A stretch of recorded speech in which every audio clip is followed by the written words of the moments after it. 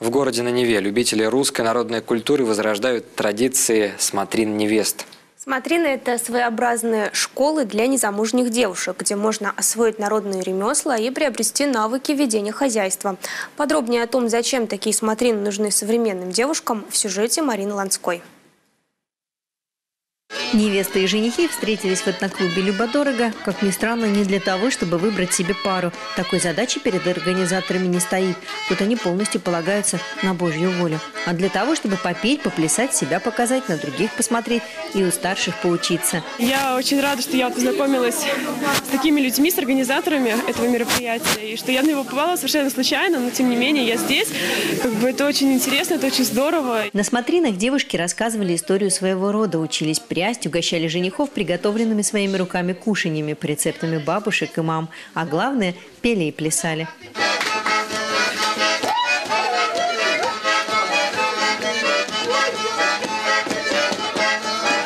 жена обязательно должна петь очень красиво и э, танцевать, да. А готовить, я думаю, что должен и муж уметь все делать обязательно, потому что настоящий русский мужчина, я считаю, что должен делать все.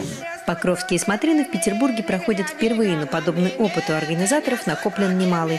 Уже пять лет в старинном русском городе Мышкин работает летняя школа невест, где девушки из разных регионов нашей страны собираются вместе, чтобы осваивать народные ремесла, учиться готовить, вести хозяйство и даже доить коров. Кроме того, с девушками занимаются священники и православные психологи, ведь подготовка к семейной жизни – дело ответственное. Первый раз мы пытались этот проект э, сделать по такому вот э, шаблону конкурса красоты, который у нас по всей России проходит, но поняли, что эта форма не работает, потому что, к сожалению, для того, чтобы что-то спросить с девушек, нужно в первую очередь их чему-то научить, а уж тем более, если мы говорим о традиционной культуре, которая сейчас, которую мы сейчас э, расцениваем, как рассматриваем как какие-то вот остатки какого-то вот тленной ткани, пытаемся ее собрать по кусочкам и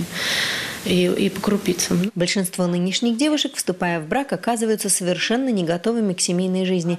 Не хватает даже самых элементарных хозяйственных навыков. Организаторы смотрин убеждены, восполнить эти пробелы может помочь традиционная культура. Современные девушки, конечно, в большинстве а, их внимание сконцентрировано в первую очередь на получении образования и профессии, которая будет им а, полезна в будущей жизни.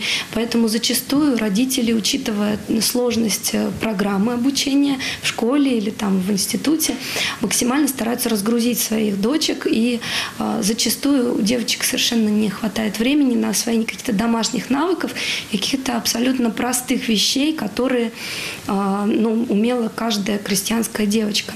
Школа невест – дело полезное, но кроме этого смотрины еще и прекрасный повод просто окунуться в атмосферу старины, совершить прыжок в прошлое. Моей венец. Надела я его не по праву, потому что я уже замужем, а носить его положено только невестам на выдане. Однако, оказавшись здесь, на этом мероприятии, мне сразу захотелось его примерить, потому что русскость может пробудиться в каждом, кто окажется на подобном мероприятии, даже случайно. Примечательно, что организаторы не просто стараются приурочить смотрины к православным праздникам. Вере здесь отводится основополагающее место. Русский традиционный фольклор, он в своей основе православный, он весь пронизан календарными праздниками, традициями э, празднования этих праздников, переживания каких-то сложных моментов жизненных. Это все всегда происходило с молитвой. Выходит, что в нашем изменчивом и полном соблазнов мире для молодых людей есть прекрасная альтернатива. Клуб может быть не ночным, а этнографическим, танцы традиционными, песни душевными, а способ знакомства молодых людей проверенным веками.